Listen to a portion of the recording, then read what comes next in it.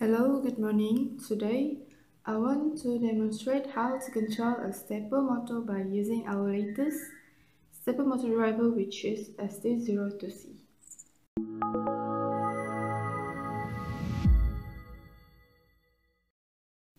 Before we start, I will give you a little introduction to SD02C.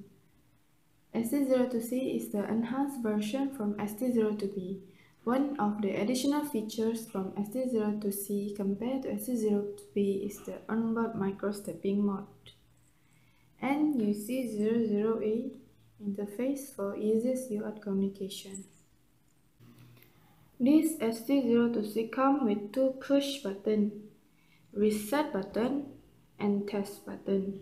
When reset button is pressed, SD02C will be reset to initial stage. Meanwhile, for test button is used to drive the stepper motor. Later on, I show you how to drive a stepper motor by only press the test button without any microcontroller. Move to this side is a four-way connector used to connect to controller such as Arduino PIC and each.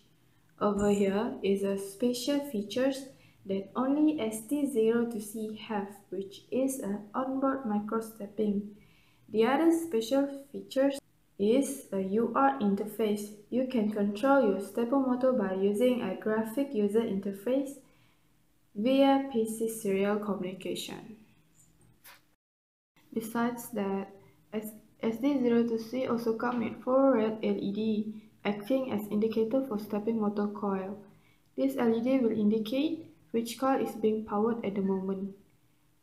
If you look over here, is a LED which indicate power if the power is connected. Okay, that's it from me. Now we see how to control the stepper motor by using stepper motor driver.